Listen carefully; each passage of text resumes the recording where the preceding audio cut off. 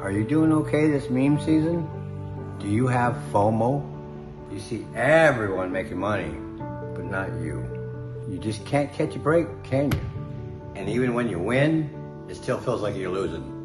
And it's tough. Have you thought about hurting yourself?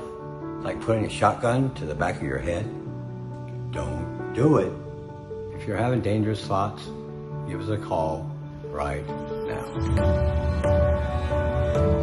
We have trained professionals standing by 24 7.